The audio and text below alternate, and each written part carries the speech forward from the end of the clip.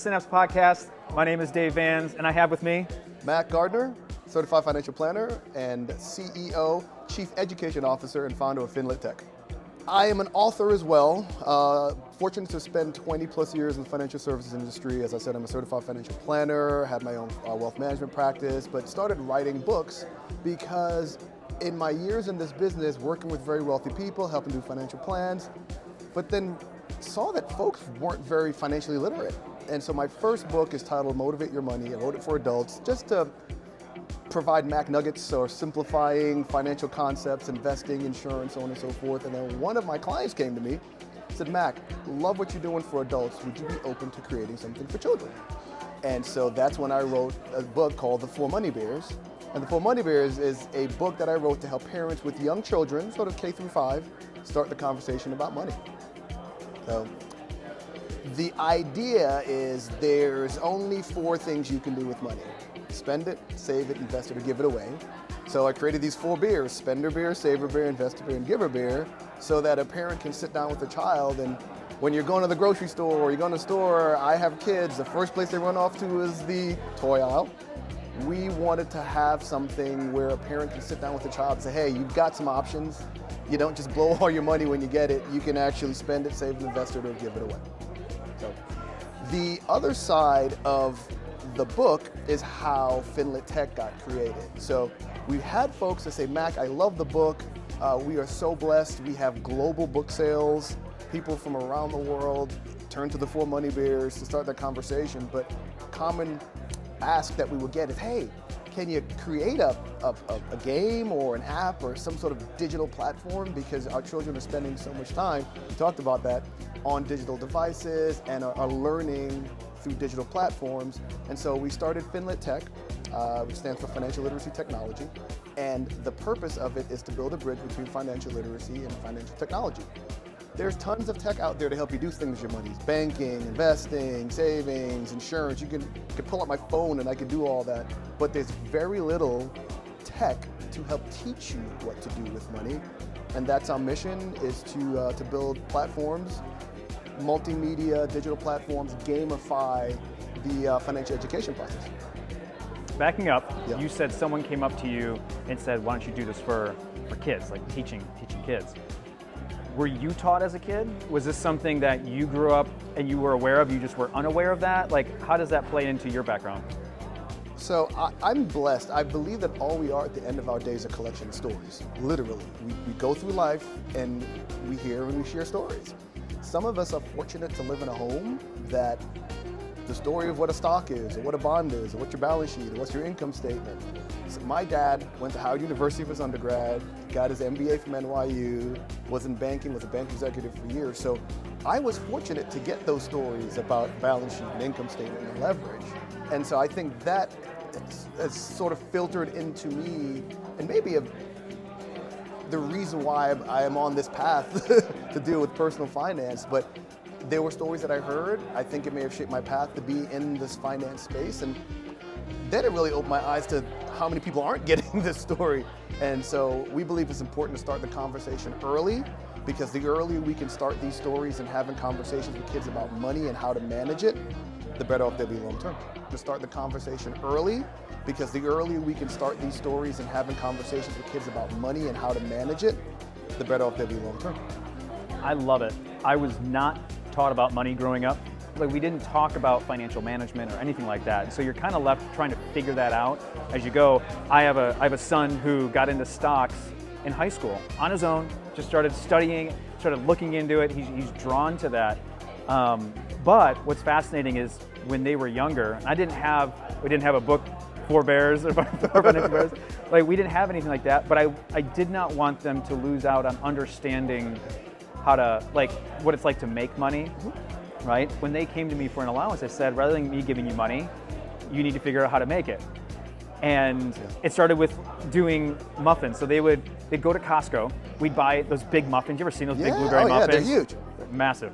Then we'd go to somewhere else and buy these little cellophane bags, and they would repackage each individual one. They came up with a price point, and then they would go out and sell them. But I bought the muffins, I bought the bag, and I made them keep a P&L sheet. oh, I love that. and they had to pay me back. So they had to go out and sell. Mm-hmm. And one of the most powerful moments that I had, it was here in Florida. You know how hot it gets. Mm-hmm. It's like 105 degrees. It was one of the hottest days of summer, mm-hmm. and just the humidity was killer. They took off. We have a golf cart that we drive around in our community. They went out in the golf cart, and I had my older son drive my youngest one around. Now my youngest one, he's they're, they're two very polar opposite children. My older one's like, I'm like, just make sure he doesn't go in someone's house. You know, like make sure no one invites him in and he, and he walks in. You know, but you let him go to the door because a lot of this is not about him making money. For me, it's about how to manage it, but also how to communicate, tell people what you want. It, there's like a lot of different learning skills. He called me up after an, uh, an hour and now, mind you, he had sold some the day before. and He did really great. Sold out like a dozen of them within like 15 minutes. Yeah. So he said, "Give me two dozen." I said, "Okay." And then as I was picking them up, he said, "You know what? Give me three dozen." I go, "I don't know if you want." And he said, oh, "Just do it." So after an hour, he calls up. He sold one, and I said, "You can come home." I didn't want them dying out in the heat, you know. Yeah, yeah, yeah. He never came home. And I trusted my oldest son had, had it all taken care of. They came home an hour and a half later after that, sold them all. He decided, he goes, I'm not going home until I sold the last one. And I was proud of him for that moment sure. because I gave him the out. Yeah. You know? Yeah, you. So talk a little bit about that book about the kids and like what you've seen and how it's impacted people. So I talk about, especially when it comes to money, and I love your story. Again, all we are in Life, collection of stories. I talk about the three R's of our relationship with money, and this is actually our relationship with anything in life. The first R is we realize what money is. So somebody drops a piece of paper in your hand and says, hey, this is money. Oh, okay, money, great. The second R is you recognize what money does. All right. So for most young people, if you were never taught what those four options of money are, I do this thing called the hundred dollar bill challenge. I, I, I go to schools, I take a hundred dollar bill up, and I'll say, okay, if I gave you this hundred dollar bill, what would you do with it? Of course, hands start flying up. Oh, I'd buy this, or I'd buy that. da, da, da. And I would do that so many times. And you know what I found? It was almost an experiment. Children are conditioned to consume at a very early age. Nine out of 10 kids would spend that. So for most young people, their recognition of the function of money is to spend it or save it.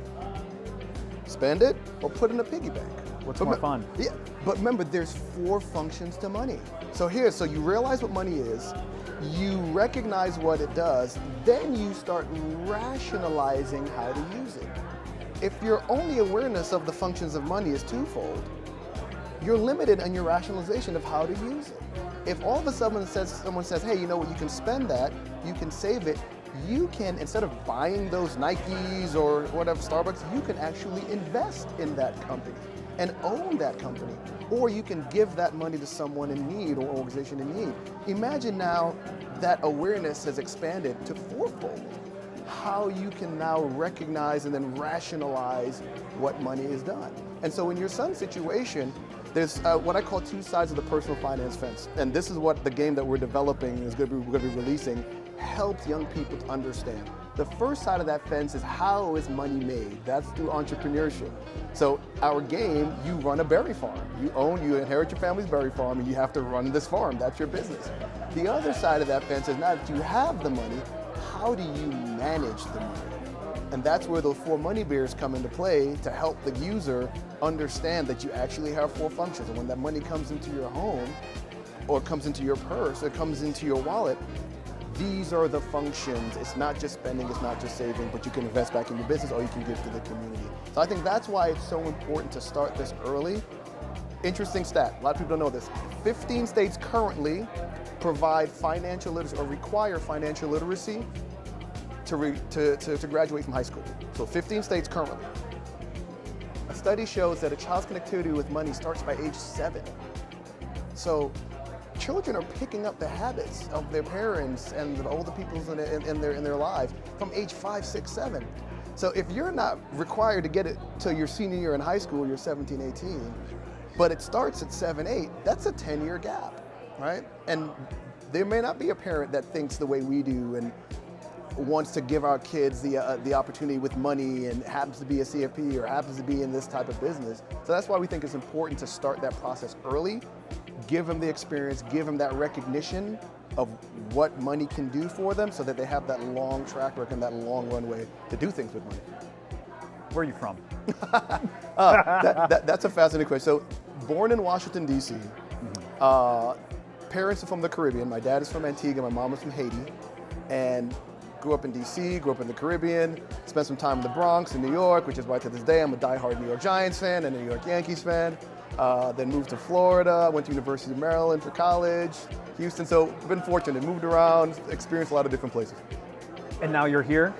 Now we're here. So got married in 05, had uh, first two kiddos, had the third one in Houston, and a lot of the families either in South Florida uh, or back home in Antigua. And so moved to uh, Tampa in 2016, started getting involved in the Tampa community, started getting involved with Synapse, which is uh, why we're sitting here today, is, is my involvement with Synapse at an early stage. Let's talk about that for a little bit. Sure. Synapse, first event time, first time coming here? No, um, actually second time in person because we had a virtual one, so this is technically my, my, my third one. Only all Tampa, or did you go to the one in Orlando? Have you done uh, it? I have not been to the one in Orlando. So what happened was I, um, I was working in the financial service industry. I was talking to, interestingly enough, Ian Anderson, who is uh, who runs Tampa Bay Business Journal. I was talking to Ian. We're having lunch, and I showed him my book. And he said, "Mac, this book is great." I said, "Yeah, you know, i would like to be able to develop an app of some sort. You know, really to, to scale it and get it out to more people, under underserved, uh, uh, you know, overlooked communities." And he said, "Well, do you know Brian Kornfeld?" I was like, "No, should I?" He said, "You might want to reach out to Brian." So I had lunch with Brian. I said, hey, Brian, I wrote this book. He has young children too. He flipped through the book. He said, Mac, this is awesome. Then how can I help? So I'd like to develop an app or do something. He said, well, we do these things called Synapse Challenges, we go out to the community and we ask them to develop and create things to can help the community. So in 2019, we were a Synapse challenge for, for Synapse. And then COVID came, and then the whole world fell apart and all different things. But that's what started the journey with Synapse. Uh, met with Lauren, met with Brian, told them what our vision was, and then that evolved into Mac. We would like to grow the diversity, equity, and inclusion aspect of Synapse. We'd like to get more people, more women, more people from different backgrounds. So they asked me to join the Impact Board. I gladly did. And then uh, I, I, got involved last year. I did a few uh, speaking engagements and panels, and uh, we launched our app last year at Synapse. And we started working with uh, Skyway, uh, Skyway Capital. Skyway heard about what we're doing, Jeff and, and Russ Hunt.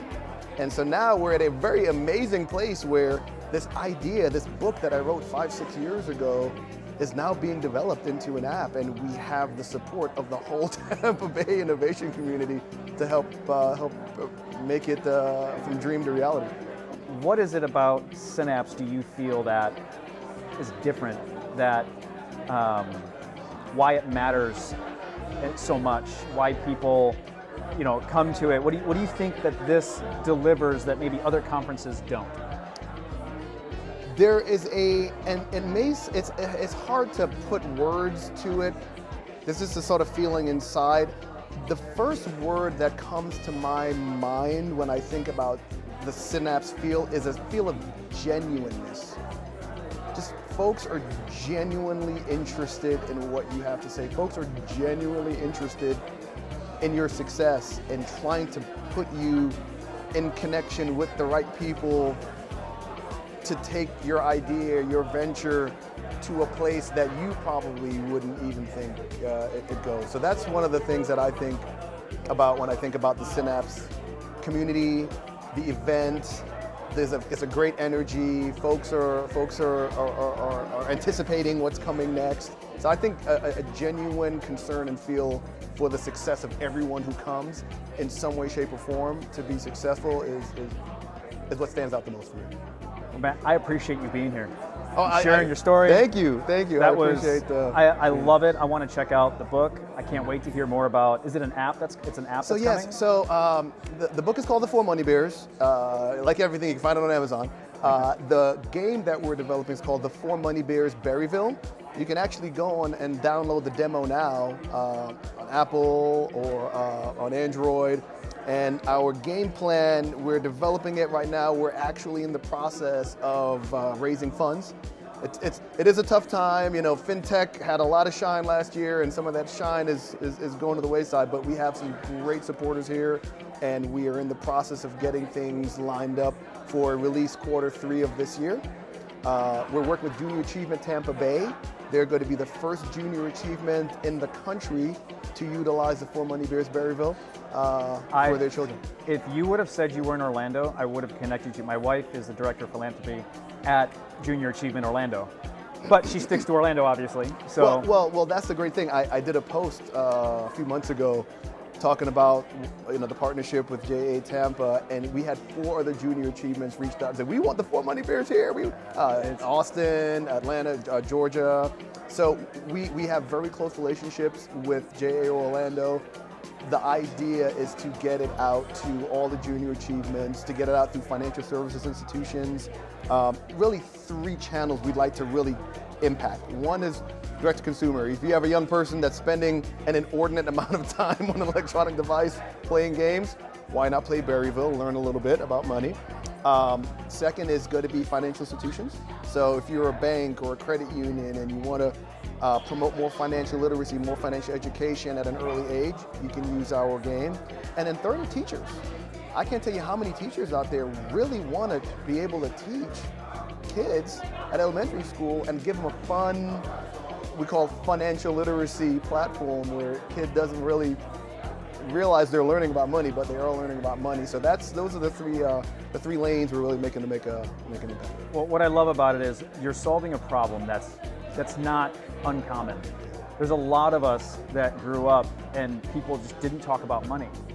And when you when you don't have that experience, it's oftentimes difficult to know where to start. And so by giving them the opportunity to have a platform to start with, it makes it easier. So that's awesome, man. Good conversations, good stories. Yes. I'll, I'll share one other thing. Someone asked me, you know, Mac, long term, where do you see the impact? You know, and we would love to be able to create a tool that teaches financial literacy, right? Analyzes what the user's doing and, and looking at the, uh, the behavioral aspects of, of finance because a lot of what we do with our money comes from the things that we see in our, in our homes, in our communities, right? And then track that progress over time. So imagine a child in an underserved, overlooked community all of a sudden playing a game and you know having a fun time, learning about these four bears, what to do with money, and then the impact it then makes in that home, in that neighborhood, in that community. That's what we're really looking to see is, is, is the, the long-term impact that starting the conversations early will have in communities that never really got a chance. So, thank you so much for having me. This has been awesome. Appreciate it, man. Appreciate you sharing the story. Yeah.